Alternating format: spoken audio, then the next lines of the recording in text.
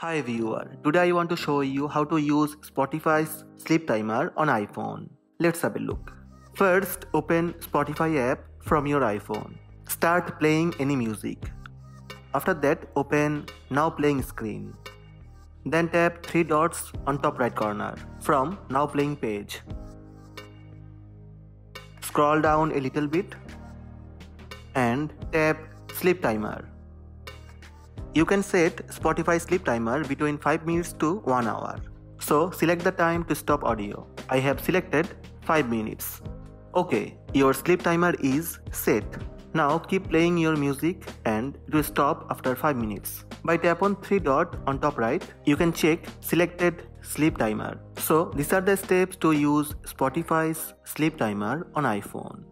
Hope this video help you. Please subscribe my channel by tap on red subscribe button. Also tap on bell button to receive notifications about all new videos. Thank you. Thank you for watching.